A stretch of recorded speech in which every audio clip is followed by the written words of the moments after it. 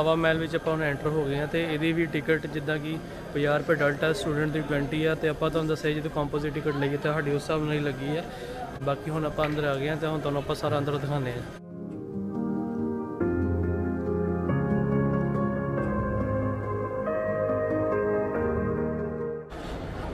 ਇਹ ਹਵਾ ਮਹਿਲ ਹੈਗਾ ਤੇ ਇਹਦਾ ਇਹਨੂੰ ਦਾ ਪੈਲੇਸ ਆਫ ਵਿੰਡਸ ਵੀ ਕਹਿੰਦੇ ਆ।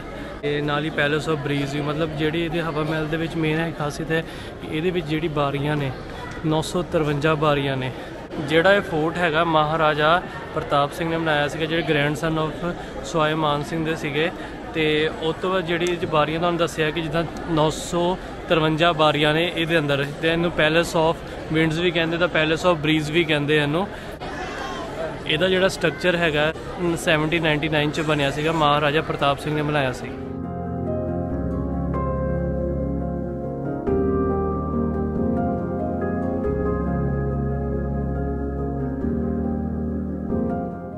ਜਿਹੜੀਆਂ ਬਾਰੀ ਦਿਖ ਰਹੀਆਂ ਛੋਟੀ ਛੋਟੀਆਂ ਇਹ ਸਾਰੇ ਪਾਸੇ ਬਾਰੀਆਂ ਨੇ ਆ ਦੇਖੋ ਛੋਟੀ ਛੋਟੀਆਂ ਕੇਵਲ ਚਾਰੇ ਪਾਸੇ ਇਦਾਂ ਹੀ ਸੀਗਾ ਤੇ ਤਾਂ ਕਰਕੇ ਇਹ 953 ਬਾਰੀਆਂ ਨੇ small small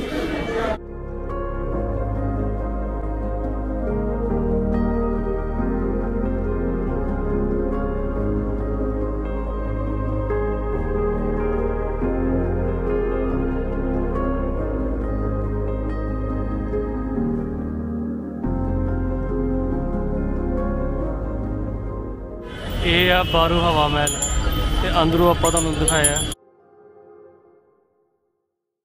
Jaipur pink city.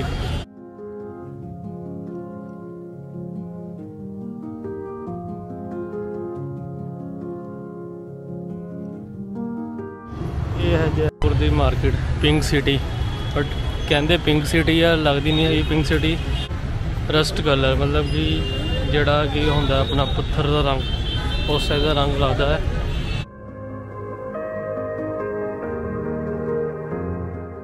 ਆਪਾਂ ਹੁਣ ਆ ਚੁੱਕੇ ਸੀ ਜੀ ਜੰਤਰ ਮੰਤਰ ਦੇ ਬਾਹਰ।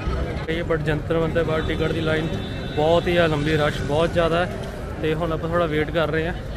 ਤੇ ਟਿਕਟ ਲੈ ਕੇ ਆਉਂਦੇ ਹਾਂ ਤੇ ਟਿਕਟ ਲੈ ਕੇ ਫਿਰ ਤੁਹਾਨੂੰ ਆਪਾਂ ਫਿਰ ਮਿਲਦੇ ਹਾਂ, ਅੰਦਰ ਜਾ ਕੇ ਦਿਖਾਉਂਦੇ ਹਾਂ। ਆਪਾਂ ਹੁਣ ਆ ਚੁੱਕੇ ਸੀ ਜੰਤਰ ਮੰਤਰ 'ਚ।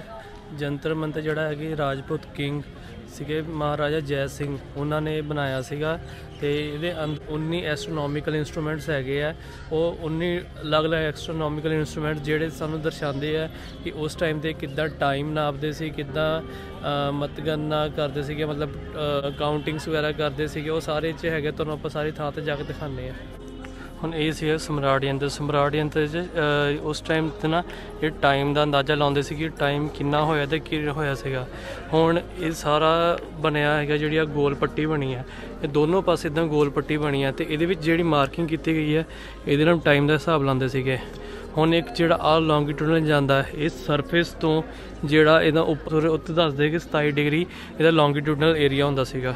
ਮਤਲਬ ਡਾਇਰੈਕਟ ਇਦਾਂ ਤੇ ਬਾਕੀ ਹੁਣ ਤੁਹਾਨੂੰ ਥੱਲੇ ਜਾ ਕੇ ਵੀ ਦਿਖਾਣੇ ਥੋੜਾ ਬਹੁਤ ਕੀ ਕੀ ਹੈਗਾ। ਜਿੱਦਾਂ ਕਿ ਸੂਰਜ ਉਧਰਲੇ ਪਾਸੇ ਚੜਦਾ ਤੇ ਹੁਣ ਪਰਲੀ ਪੱਟੀ ਤੇ ਟਾਈਮ ਆਂਦਾ ਉਸ ਟਾਈਮ ਤੇ। ਹੁਣ ਜਦੋਂ ਸੂਰਜ ਇੱਧਰ ਆ ਚੁੱਕਿਆ ਹੁਣ ਹੁਣ ਦੇਖੋ ਸੂਰਜ ਤੋਂ ਪੈ ਰਹੀ ਹੈ ਸਿੱਧਾ ਹੁਣ ਇਸ ਪੱਟੀ ਤੇ।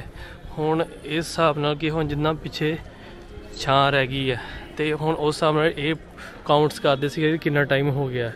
ਤੇ ਜਿੱਦਾਂ ਹੁਣ ਮੈਂ ਪੁੱਛਿਆ ਸੀ ਅੱਗੇ ਨੂੰ ਕਹਿੰਦੇ ਕਿ ਉਸ ਹਿਸਾਬ ਨਾਲ ਇਹ ਹੋਇਆ 1:50 ਤੇ। ਹੁਣ ਮੇਰੀ ਘੜੀ ਤੇ ਵੀ ਹੋਇਆ 1 158 ਤੇ ਮਤਲਬ ਚਲੋ ਥੋੜਾ ਬਹੁਤ ਰਹਿੰਦਾ ਸੀਗਾ ਬਟ ਬਦਲ ਆ ਜਾਂਦਾ ਸੀਗਾ।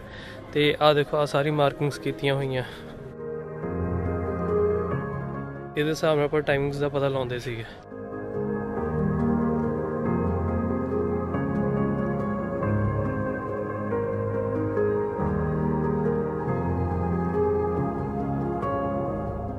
ਹੁਣ ਜਿਹੜੇ ਤੁਸੀਂ ਆਹ ਦੇਖ ਰਹੇ ਹੋ, ਛੋਟੇ ਛੋਟੇ ਜਿਹੜੇ ਬਣੇ ਆ, ਇਹ ਹੈਗੇ ਆ ਰਾਸ਼ੀਫਲ ਯੰਤਰ।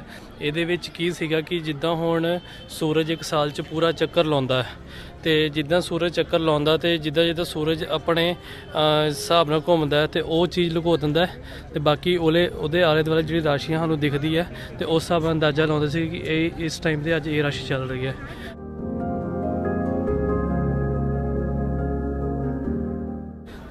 ਇਹ ਹੈਗੀ ਜੈ ਪ੍ਰਕਾਸ਼ ਯੰਤਰ। ਜੈ ਪ੍ਰਕਾਸ਼ ਯੰਤਰ 'ਚ ਦੋ ਹੈਮਿਸਫੀਰਿਕਲ ਬਾਲਸ ਹੈਗੇ, ਇੱਕ ਇਹ ਹੈ ਤੇ ਦੂਜਾ ਇਹ ਬਾਲ ਹੈਗਾ, ਠੀਕ ਹੈ? ਤੇ ਇਹਦੇ ਵਿੱਚ ਕੀ ਕਰਦੇ ਸੀਗੇ ਕਿ ਜਿਹੜੇ ਵੀ ਆਪਣੇ ਆਰਸ ਜਾਂ ਡਿਕਲਾਈਨੇਸ਼ਨ ਜਾਂ ਇਹ ਚੀਜ਼ਾਂ ਇਹਦੇ ਵਿੱਚ ਨਾਪੀ ਜਾਂਦੀ ਸੀ।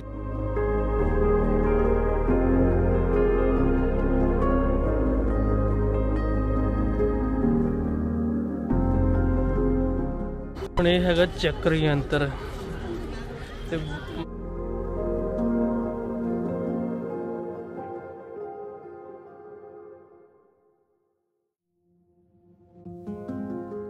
ਜਿੰਨੇ ਵੀ ਇੱਥੇ ਯੰਤਰ ਸੀਗੇ, ਇਹ ਆਪਣੀ ਰਾਸ਼ੀ ਨੂੰ ਟਾਈਮ ਨੂੰ ਮੇਜ਼ਰ ਕਰਨ ਲਈ ਹੀ ਇਹ ਸਾਰੇ ਇਹਨਾਂ ਨੇ ਬਣਾਏ ਸੀਗੇ। ਤੇ ਬਾਕੀ ਆਪਾਂ ਤੁਹਾਨੂੰ ਦਿਖਾਉਂਦੇ ਆ ਜਿੰਨਾ ਤੁਹਾਨੂੰ ਥੋੜਾ ਬਹੁਤ ਦੱਸਤਾ ਹੈ, ਸਾਨੂੰ ਜਿੰਨੀ ਨੌਲੇਜ ਸੀਗੀ, ਉਹਨਾਂ ਤੁਹਾਨੂੰ ਦੱਸ ਦਿੱਤਾ। ਬਾਕੀ ਪਤਾ ਨਹੀਂ ਹੁਣ ਸਹੀ ਹੈ ਕਿ ਗਲਤ ਹੈ।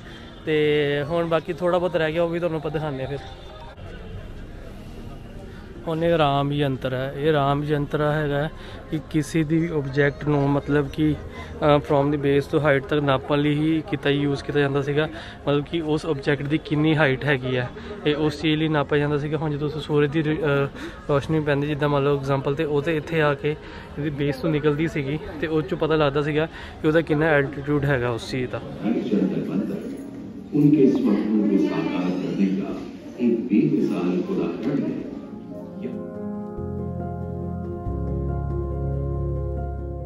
ਬੇਸਿਕਲੀ ਇਹਦੇ ਚ ਇਹ ਸੀਗਾ ਕਿ ਜਿੰਨੇ ਵੀ ਇਹ ਯੰਤਰ ਸੀਗੇ, ਜਿੰਨੇ ਤੁਹਾਨੂੰ ਦੱਸੇ ਆ, ਤੇ ਮਤਲਬ ਇੰਨਾ ਹੀ ਹੈ ਜੰਤਰ ਮੰਤਰ, ਇਹਦੇ ਵਿੱਚ 19 ਐਸਟ੍ਰੋਨੋਮਿਕਲ ਇਨਸਟਰੂਮੈਂਟਸ ਹੈਗੇ ਆ ਕਿ ਇਹ ਸਾਰੇ ਹੀ ਮੇਜ਼ਰ ਕੀਤੇ ਜਾਂਦੇ ਸੀਗੇ ਹਾਈਟ ਨੂੰ ਤੇ ਇੱਕ ਟਾਈਮ ਨੂੰ ਤੇ ਟ- ਉਹਦੇ ਮਿੰਟਸ ਨੂੰ ਮੇਜ਼ਰਮੈਂਟ ਕਰਨ ਲਈ ਤੇ ਟਾਈਮ ਕਿੰਨਾ ਹੋਇਆ ਤੇ ਰਾਸ਼ੀ ਫਲ ਨੂੰ ਜਾਣਨ ਲਈ ਤੇ ਬਾਕੀ ਆਬਜੈਕਟਸ ਨੂੰ ਆਬਜੈਕਟ ਦੀ ਹਾਈਟ ਪਛਾਣ ਲਈ, ਉਹ ਸਾਰੇ ਹੀ ਆਪਣੇ ਪੂਰੇ ਤੋਂ ਹੀ ਇਹਨਾਂ ਦੇ ਯੰਤਰ ਬਣਾਏ ਸੀ, ਉਹਦੇ ਵਿੱਚ ਹੁੰਦੇ ਸੀਗੇ। ਤੁਹਾਨੂੰ ਜਿੱਦਾਂ ਪਿਛਲੇ ਸਾਰੇ ਦੱਸਿਆ, ਤੇ ਇਹ ਸੀਗਾ ਜੰਤਰ ਮੰਤਰ ਦਾ। ਆਪਾਂ ਹੁਣ ਜੈਪੁਰ ਛੱਡਤਾ ਸੀਗਾ, ਤੇ ਸਾਰਾ ਕੁਝ ਤੁਹਾਨੂੰ ਘੁਮਾ ਫਿਰਾ ਦਿੱਤਾ। ਜੈਪੁਰ ਦੇ ਜਿਹੜਾ ਅੱਜ ਦੇ ਵਲੌਗ 'ਚ ਸੀਗਾ, ਤੇ ਤੁਹਾਨੂੰ ਉਹ ਸਾਰੇ ਵਧੀਆ ਲੱਗੇ ਹੋਣ ਤੇ ਜਰੂਰ ਦੇਖਿਓ। ਸਭ ਕੁਝ ਸਾਨੂੰ ਦੱਸਿਓ ਵੀ ਕਮੈਂਟ ਕਰਕੇ ਕੀ ਚੀਜ਼ ਸੀਗੀ, ਕੀ ਮਾੜੀ ਲੱਗੀ ਤੁਹਾਨੂੰ। ਫੀਡਬੈਕ ਜ਼ਰੂਰ ਦਿਓ।